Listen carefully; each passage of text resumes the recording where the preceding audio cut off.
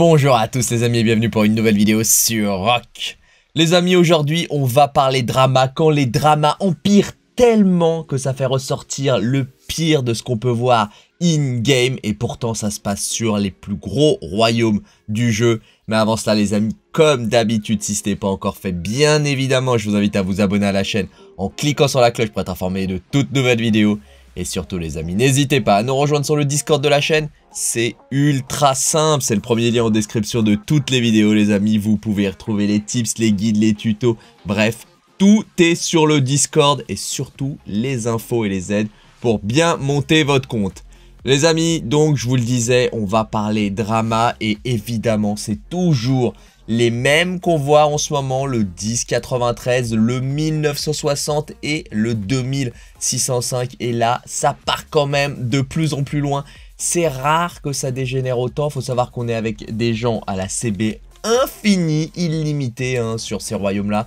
Des méga baleines, on a donc 3 KVK où ces trois royaumes s'affrontent. Hein. Le C1 12 114 où c'est leurs plus petites alliances qui s'affrontent. Le C1 12 113, le C12 113 tout court. Hein, et c'est les, les deuxièmes, disons niveau intermédiaire de leur royaume et le prime de leur royaume s'affrontent sur le C1 21 12. Là, on est sur du lourd et il y a eu beaucoup, beaucoup de discussions déjà pour faire l'écran. Pour ceux qui ont raté l'épisode, alors on va aller voir, puisque les forteresses croisées sont ouvertes à présent, on a les premières coalitions qui se montent, mais avant ça, parlons de leur drama, ça devient vraiment n'importe quoi. Regardez déjà ce message de Pau Pau, le lead du 1093. Alors Pau Pau, je vous le rappelle, au cas où vous ne le sachiez pas, c'est un joueur chinois qui vit en Chine.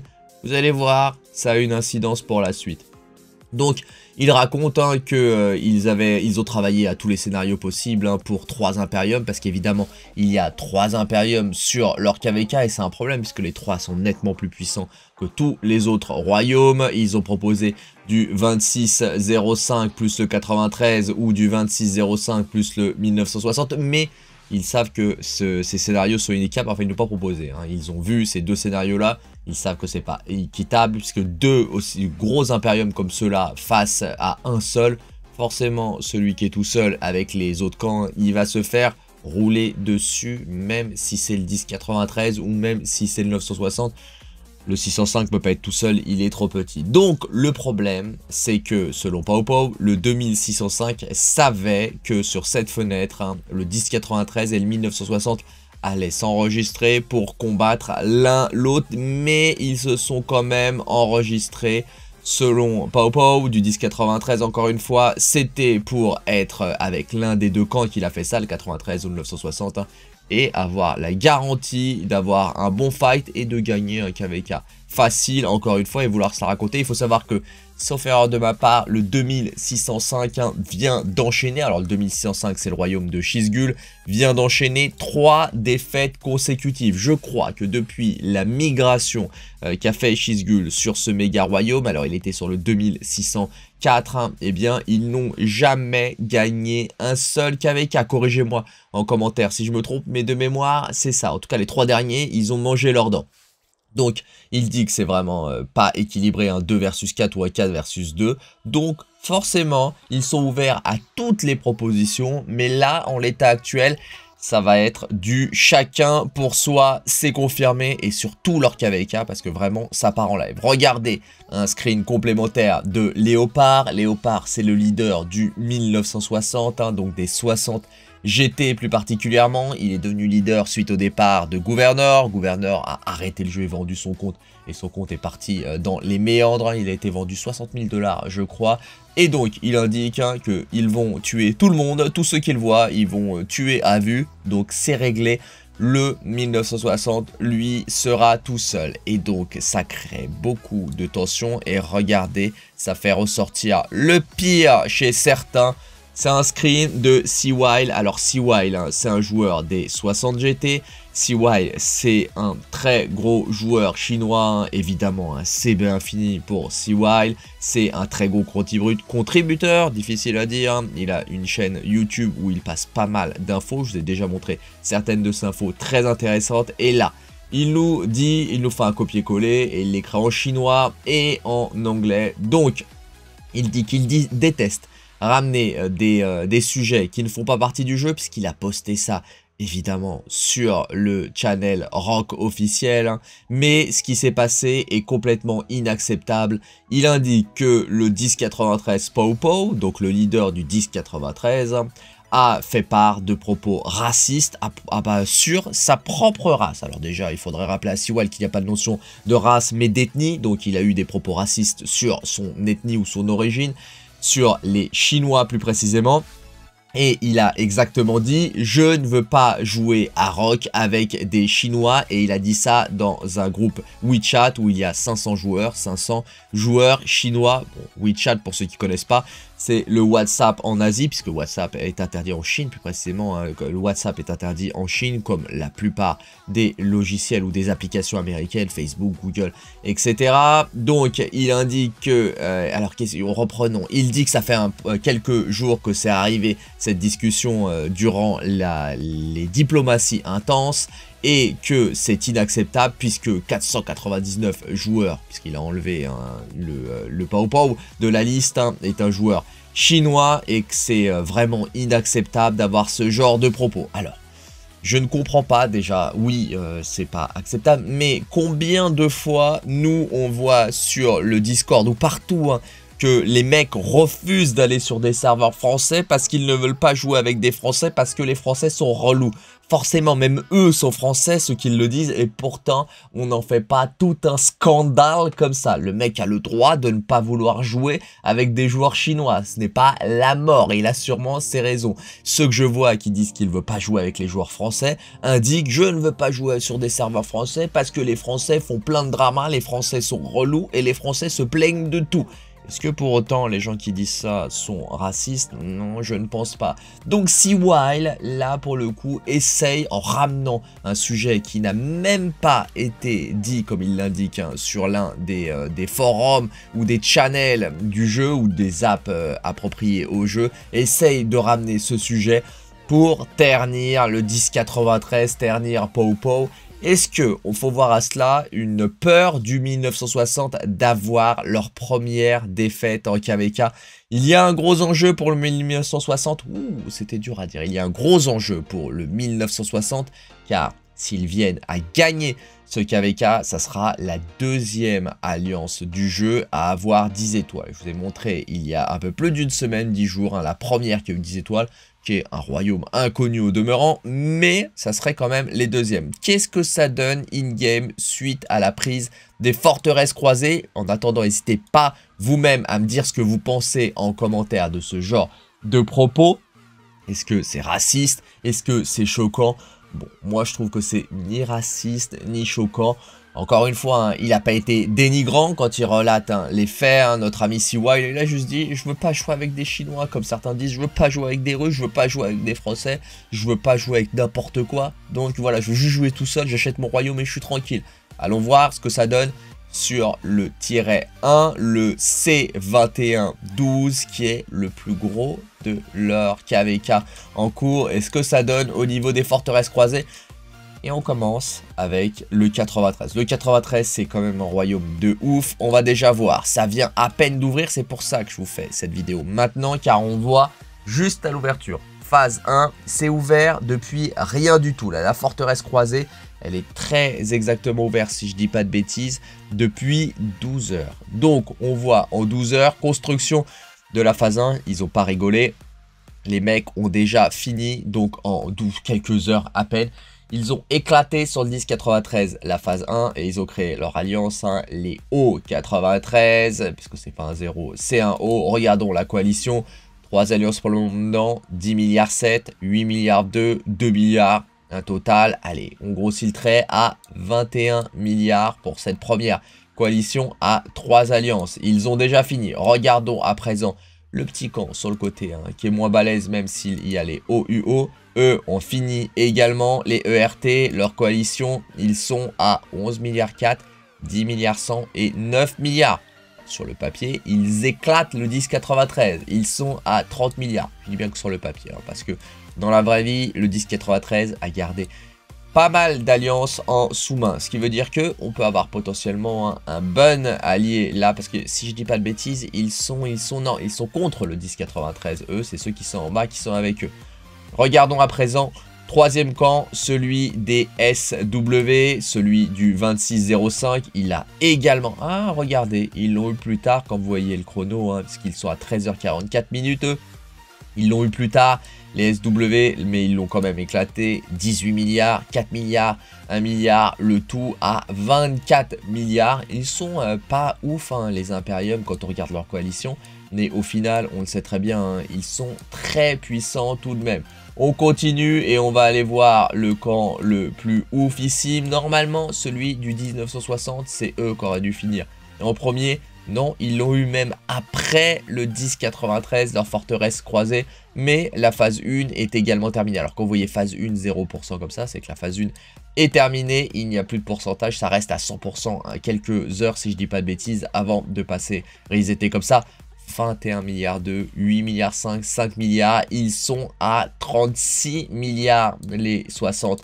J'étais le 1960, ils sont tout bonnement énormissimes. Ce n'est pas encore une fois les plus hauts, l'avant-dernier camp, si je dis pas de bêtises, l'avant-dernier camp, regardons ce qu'a donné la coalition, eux aussi est fini la phase 1, donc tous les royaumes vont avoir fini. La phase 1, 11 milliards et 7 milliards, ils n'en ont que deux seulement, ils n'ont pas rajouté la troisième, ils ne sont même pas à 20 milliards, de, donc eux semblent être les plus légers. Et il me semble que ce ne sont pas les alliés euh, des 60 GT, c'est euh, les alliés du dernier camp sur ce côté-là. Regardons ce que donne cette coalition. Alors hop là, elle est là et on clique dessus et ils ont fini aussi les RIP. Hein. L'or, forteresse croisée et la coalition, elle est à 8 milliards 9, donc 9 milliards, 10 milliards 7. Allez, on va dire 29 milliards du côté du 2607. Voilà pour les coalitions. Donc vous le voyez, sur le papier, la plus faible des coalitions, si je dis pas de bêtises, c'est celle du 1093, suivie par la deuxième plus faible, hein, celle du 2605, et la troisième plus faible, c'est celle-là, si je dis pas de bêtises, où il y a trois, euh, trois petits royaumes, hein, puis on a aussi les 60 GT. Bref, qu'est-ce que ça va donner? Les portes de niveau 4 vont ouvrir normalement. Dans pas longtemps, elles ne sont évidemment pas ouvertes, elles ouvrent au bout de 7 jours, donc courant de la semaine, ça va ouvrir. Évidemment, je vais vous faire des records, des rushs, on va voir ce que ça va donner. Mais en tout cas, le drama monte de plus en plus en puissance.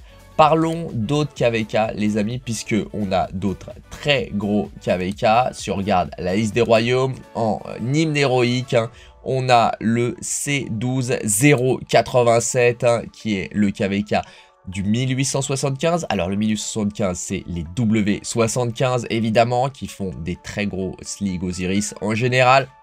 Il y a contre eux le 2268, le 2429. On se retrouve un petit peu dans la même configuration hein, que euh, le 2605, euh, le 1960 et le 1093. Mais sauf que là, on n'a pas les domaines, donc on a encore les royaumes pleins. Et vous allez voir la petite différence que ça fait. On a aussi le 1166 hein, qui a été très très longtemps l'un des plus gros impériums du jeu. 1873 jours, un royaume très ancien. Sur ce KVK, Déjà, ça se voit que c'est un KVK qui a eu après le patch, puisque la brume est partie. On est à 18 jours, alors qu'avant, elle partait qu'à 26 jours, la brume. Regardez, on peut aller le voir maintenant qu'il n'y a plus de brume. C'est quand même plus facile pour nous, pour streamer, pour vous montrer ce qui se passe. Et regardons, si on compare les coalitions de ce KVK, vous allez voir, il y a quand même un gros écart. Donc, si on prend, hop là, la coalition sur 4 alliances, 11 milliards, 10 milliards, 4 milliards. Si on n'en prend que 3, ils sont qu'à 27 milliards. Même avec les deux derniers, ils sont qu'à 30 milliards c'est pas une dinguerie. 4 alliances, 30 milliards, c'est autant que sur le KVK du 1960, ce qu'ils ont en 3 alliances et pour certains même en 2 alliances. On regarde du côté des 166, du 1166, Pareil, hein, ils sont à 14 milliards 3, 12 milliards 2, 6 milliards. L'ensemble, là, est plus élevé, mais on est à 33 milliards. Ce n'est pas une dinguerie. On a vu plus de l'autre côté, alors qu'ils n'ont pas l'intégralité de leurs joueurs. Ils les ont dispatchés. On regarde la troisième forteresse sur ce camp-là. on est sur une coalition qui va être à 17 milliards, et là, ça chute direct, presque 18 milliards hein, pour les S2S, ça commence à faire beaucoup, ils sont à 27 milliards, c'est pas une dinguerie, ils ont une seule grosse alliance, mais ce royaume-là, il va falloir le suivre parce que regardez, on va retourner dessus, sur le 429, les S2S, là où ça va être très intéressant, c'est comme ils n'ont qu'une seule grosse alliance, hein, ça va être un gros avantage pour eux, le 242, euh, car le 242, le 2429, car lorsqu'ils vont être sur le système des domaines, ils ont un domaine 1 très très fort, ça va être un très gros avantage pour eux, sans se splitter, et on regarde le dernier camp, voir à combien est l'autre coalition, mais au final, hein, ils sont quand même pas très puissants, excepté l'alliance à 17 milliards, 18 milliards, même les autres, voyez, celui-là n'est pas oufissime, c'est pas une dinguerie, ils sont à peine à 30 milliards. Regardez, on va aller comparer ce KVK où il y a trois gros impériums pourtant avec le tiret 2, les domaines 2 du 1960 du 1093 puisque ils ont également leur forteresse croisée hein, a été ouverte, qui a été prise également. On va voir si ont fini les phases 1. Hop là, on va dézoomer et aller sur le bon camp. Regardons tout de suite.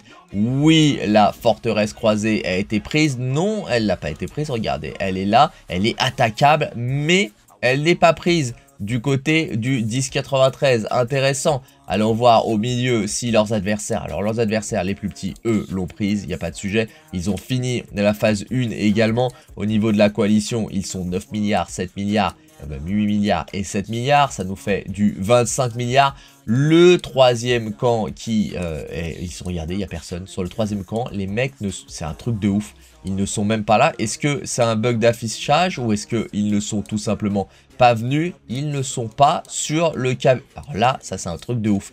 Ils ne sont pas sur le KVK. Qui est sur ce camp-2 Je crois, si je dis pas de bêtises, c'est le 2605. On va vérifier tout de suite. On est sur le tiret 2 qui est en tornade. C'est le 2605. Alors, soit c'est un bug, soit le 2605 ne s'est même pas déplacé sur ce KVK ça serait une dinguerie. Les 60 de leur côté non plus, n'ont même pas pris sur le tir. Eh, c'est vraiment un truc de ouf ça. Ils ne sont même pas venus.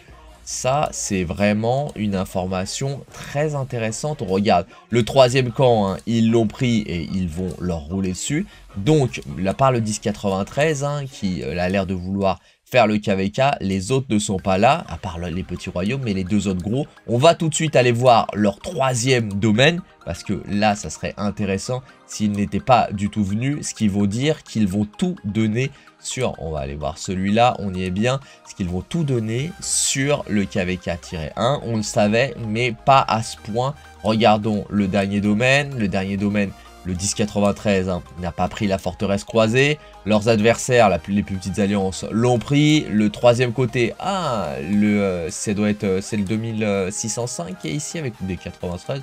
Ce serait étonnant. Regardons un petit peu. Regardons un petit peu. Non, ce n'est pas eux. Là, ce n'est pas eux. Qui est sur ce coin en haut à droite? On regarde également. Hop là, on regarde, on remet 2605. Tac, qui est en haut à droite? En camp tornade. En camp tornade, bah, c'est un petit groupement. Le 60, ah le 605 euh, est mêlé euh, dans la masse, c'est pour ça euh, qu'on ne le voit pas. Hop là, retournons, allons voir si le 60, lui, s'est déplacé. Le 60, est-ce qu'il a pris sa forteresse? Non, il n'a pas pris la forteresse. Donc, le 1093 et le 2605 et le 1960 vont se fight de ouf sur le KVK-1. C'est bien celui-là qu'il va falloir suivre. Au moins, on n'aura pas à s'éparpiller, mais c'est étonnant. On aurait pu penser que ces méga royaumes hein, se dispersent partout et brûlent tout le monde sur tous les KVK. Après, on va peut-être avoir des vengeances sur les autres une fois que l'un des royaumes va avoir perdu ce KVK principal. Évidemment, les amis, je ne manquerai pas de vous suivre l'ouverture des portes. Hein. On va suivre ça vraiment à la loupe et je vous ferai part de tous les dramas qui vont avoir lieu. Voilà écoutez les amis c'est tout pour cette vidéo, j'espère qu'elle vous aura plu, si c'est le cas les amis comme d'habitude n'hésitez pas à lâcher un colossal pouce bleu, vous le savez les amis ça fait vraiment très plaisir et ça aide énormément le développement de la chaîne, si ce n'est pas encore fait les amis, qu'attendez-vous, qu'attendez-vous? Pour vous abonner à la chaîne en cliquant sur la cloche pour être informé de toutes nouvelles vidéos, je vous souhaite un bon jeu à tous, prenez soin de vous, faites bien attention à vous les amis, et je vous dis à plus sur Rock